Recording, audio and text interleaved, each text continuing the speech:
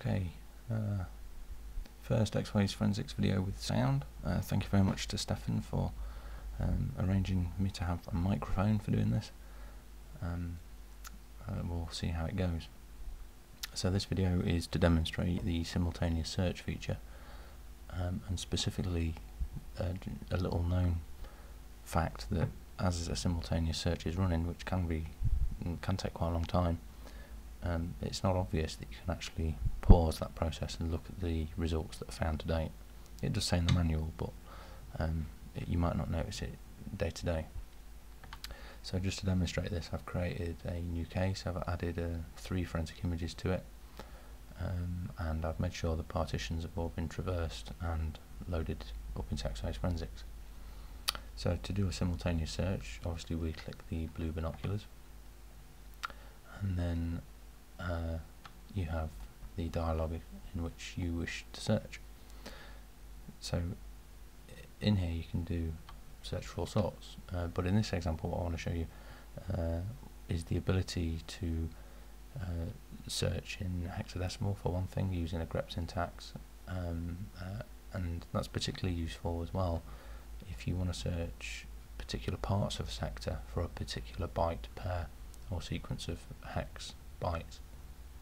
Um, for example, in the situation where you might be looking for partition structures for particular file systems um, and things like that. One of my previous blog entries talks about doing that. Um, so what I'll just quickly do here is do a search for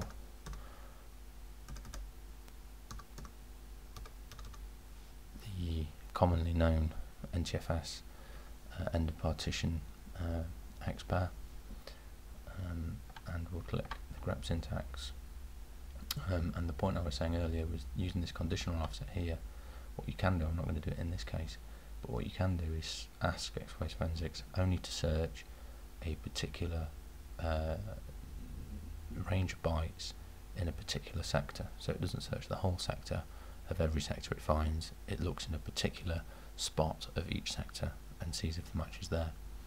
Um, and in the case of uh, Linux Ext2/3/4 superblocks, um, starting at the 56th byte is quite a significant point.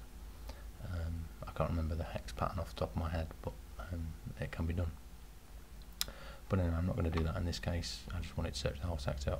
We know that that usually appears at the end of the sector, so we could easily apply that if we wanted to, uh, but I'm not going to do for the sake of simplicity.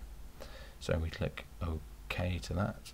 It will then ask us what forensic images you want to search across. I'm going to choose them all, but I could just do that one or that one or whatever I want. I'm going to do them all, and we go OK. So then it comes up with this.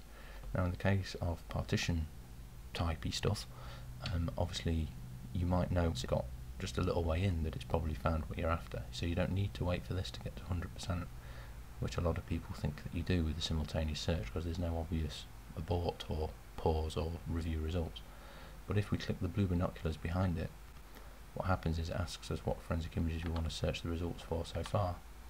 And then up here, as you can see, uh, it lists them all that it's found so far. Um, and when you click on any of these, it will show you, let's just move that out of the entries that it's found. And there, as an example, is one that it's found right at the bottom. Um, of the NTFS partition.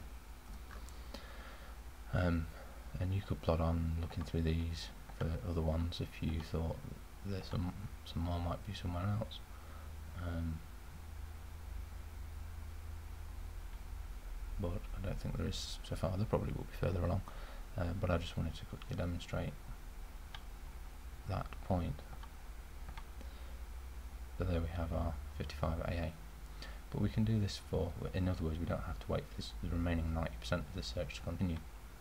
And so we can, and we can apply the search in other ways. Uh, let's just say we want to do a search for the word testing. Get rid of the grep syntax and we'll do a search and the same theory applies. And what you can also do um, is you can choose which forensic images you want to do the search across. Uh, but I'm going to ask it to do it all. And we go okay. 90, we don't want to wait to the end, we want to see what those hits are. We click the binoculars, we click OK, and they all come up straight away. Um, and if we put the, the viewing component preview mode, we can then see the hits as well.